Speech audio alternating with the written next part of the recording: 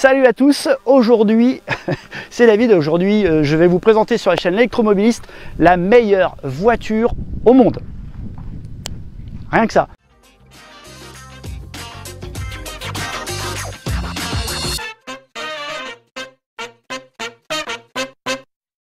Alors, bonjour à tous. Aujourd'hui, vous l'avez vu, suis un temps magnifique hein, euh, avec euh, cette petite pluie qu'on appelle, euh, bah, que moi je connaissais sous le nom de crachin breton, mais ici c'est le crachin normand puisque je suis en Normandie.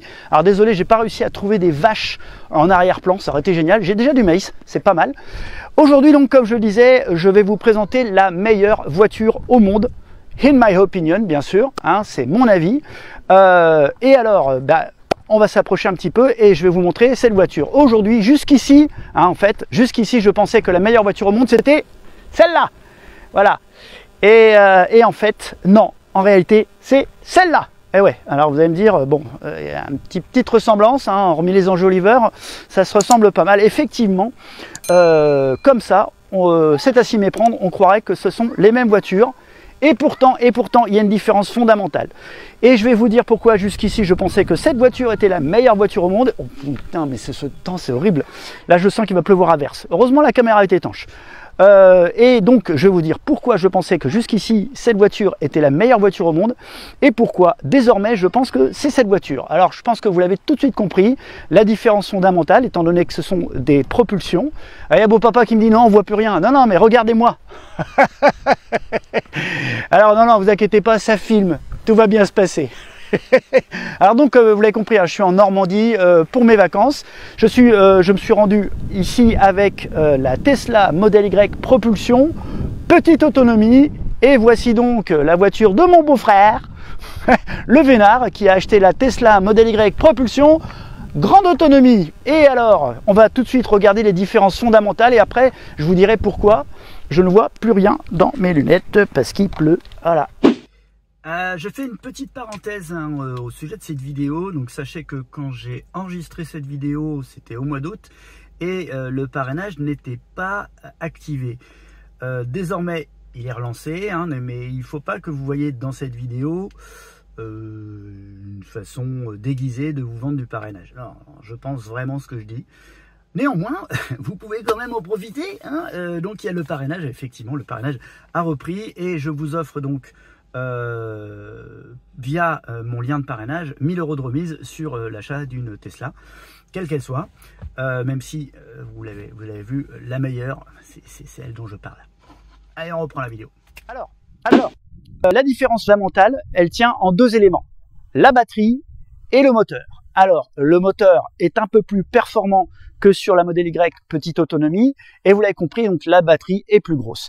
Et euh, l'avantage du moteur, c'est d'avoir un peu plus de pêche au démarrage. Euh, on passe de 6,9 secondes à 5,9 secondes, donc on gagne une seconde euh, sur le 0 à 100. C'est pas grand chose, mais on sent la petite pichenette hein, qu'on avait perdue avec la modèle Y on sent la petite pichenette qu'il y avait par exemple sur la Tesla Model 3 2021, euh, euh, celle qu'on avait, euh, la petite pichenette qu'on avait perdue aussi sur la Model 3 2022. voilà, donc ça c'est un premier truc, c'est le moteur, alors qui est toujours placé à, l'arrière, hein, entre les deux roues arrière. Ensuite, l'autre grosse différence de ce modèle Y propulsion, c'est la batterie, je vous l'ai dit. cette modèle Y propulsion hérite de la batterie de la grande autonomie euh, dual euh, dual motor et aussi là on a de la grande autonomie performance. Et donc la différence, bah, elle permet d'avoir à peu près 150 km supplémentaires aux normes aux normes WL, pas WLTP, si WLTP, ce qui fait à peu près 100 km, 120 km aux normes EPA, ce qui fait que sur le compteur affiché, ici, vous allez avoir à peu près 410 km, 413 km, je crois, quand le véhicule est neuf. Euh, parce que celui-là commence à avoir quelques kilomètres. Et euh, ici, vous avez à peu près 520 km, donc voilà, à peu près 110 km euh, de plus. L'autre avantage d'avoir une grosse batterie, c'est que ce n'est pas la même chimie. Alors bien sûr, il y a un inconvénient, c'est qu'il y a du cobalt dedans. Le cobalt, bah, c'est pas bon. Ici, lithium, fer, phosphate, pas de cobalt. Donc ça, c'est un peu plus éco-responsable, même si on a bien compris maintenant qu'Elon Musk n'en a rien à battre. Euh, donc, l'autre point positif euh, à cette grosse batterie, c'est qu'elle charge plus vite. Alors oui, elle est plus grosse, donc vous allez avoir plus de temps nécessaire pour la recharger de 0 à 100%, mais néanmoins, elle charge plus vite. Ce qui fait qu'au final, vous allez mettre autant de temps pour charger de 0 à 100% sur les deux modèles, sauf que là, vous allez récupérer à peu près 300 km sur autoroute, et là, à peu près 400 km sur autoroute, et c'est pas rien. Voilà. Mais ce ne sont pas les seules raisons qui font que c'est la meilleure voiture au monde. L'autre grosse raison, et là, les deux voitures euh, vont être à, part égale, hein, euh, on va dire. Euh, les deux voitures vont avoir le même avantage. Désolé, je suis trempé. Donc l'autre gros avantage de ces deux voitures, c'est son prix. Et quand je dis son prix, c'est pas juste une voiture low cost. parce que vous avez tout l'écosystème Tesla. Donc ça veut dire que déjà, la première chose, quand vous achetez cette voiture, elle est toute option. Les seules options, entre guillemets, que vous allez avoir, ça va être la peinture, l'intérieur blanc, et les jantes. Donc là, ici, les jantes sont les jantes d'origine. Bon, moi, j'ai rajouté des enjoliveurs sur la mienne qui la dissocient un petit peu. Euh, et euh, voilà, ici, on est sur la couleur blanche, qui est la couleur d'origine. Attention, c'est un blanc nacré. C'est pas juste un blanc uni.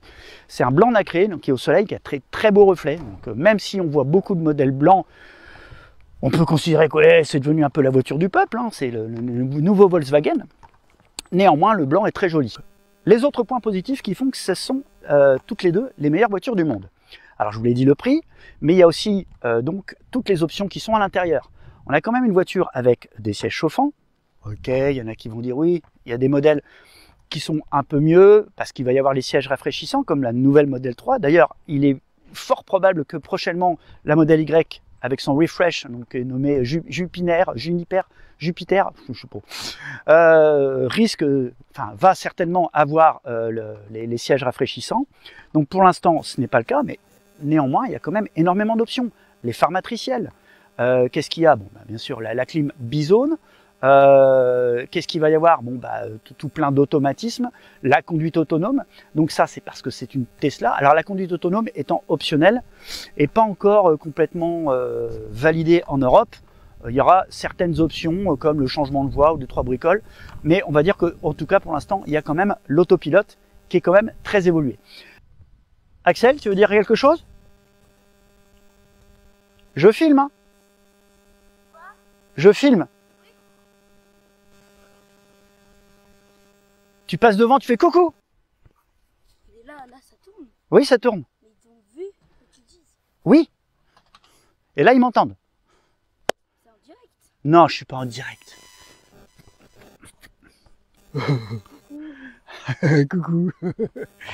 bon, alors qu'est-ce que je disais? Euh, En fait. En fait, si je considère que ces voitures sont les meilleures voitures au monde, c'est parce qu'elles sont les plus homogènes. C'est-à-dire qu'elles vont avoir le meilleur ratio prix, performance, euh, autonomie. Euh, c'est parmi les consommations les plus basses. Et puis, Axel, par contre, tu, là, tu, me fais chier un peu. Ça filme quand tu... Ben oui, c'est pour ça que j'aimerais que tu coupes, enfin que tu t'en ailles.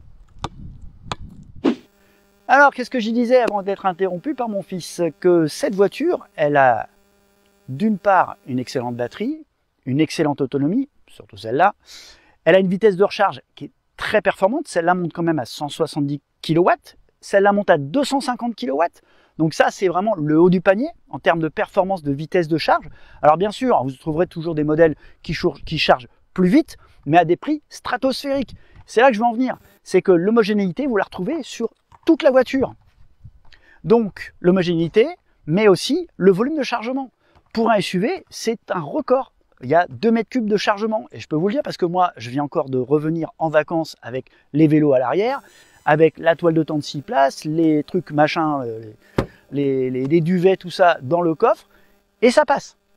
Et avec aucune autre voiture, même avant j'avais un Scénic 7 places, je peux vous dire qu'il n'y a rien à voir. Là, on en met beaucoup plus. Donc ça, c'est aussi un gros avantage. Donc un gros volume de chargement, 5 vraies places, euh, une vitesse de charge, euh, une très bonne autonomie, y compris pour celle-là. Moi, j'en suis extrêmement satisfait. Bien sûr, je suis jaloux de mon beau-frère, mais ça, c'est pas que pour la voiture.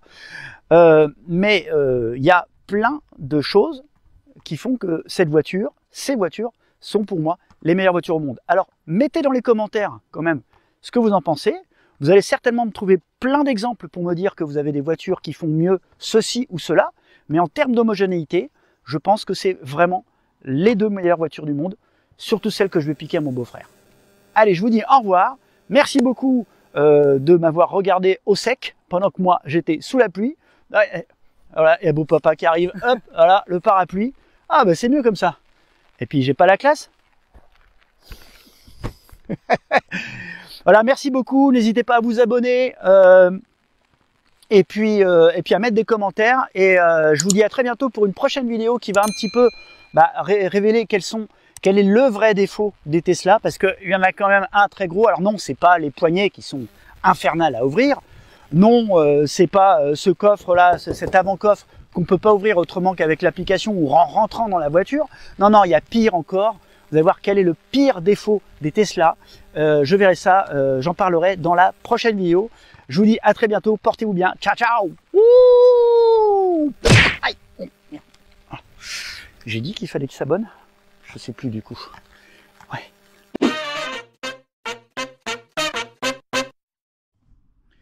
Bon, il y a quand même un petit truc que j'ai oublié de préciser, parce que c'est vrai qu'avec le temps qu'il fait, on peut se poser les questions, mais oui, oui, je suis en vacances d'été, en vacances d'hiver. Hein, hein, cette vidéo est tournée euh, au mois d'août, hein, voilà. Euh, et Macron, euh, Macron, pour vous donner un petit peu une échelle de temps, Macron n'a toujours pas décidé de son gouvernement, voilà. non, non, non, c'est bien l'été, voilà, c'est sympa. Et pour divulgacher un petit peu, on dit plus spoiler, on dit divulgacher, monsieur. Pour divulgacher la prochaine vidéo, je vais tailler un petit costard à notre copain Elon qui commence sérieux à me chauffer les oreilles et, euh, répondre à cette question euh, est-ce qu'on peut acheter une Tesla et en même temps ne pas pouvoir blairer Elon Musk? Parce que je pense qu'il y a quand même pas mal de gens qui se posent la question je vais quand même pas acheter une bagnole et filer de l'argent à ce, ce monsieur. Allez, Ciao, ciao, bisous.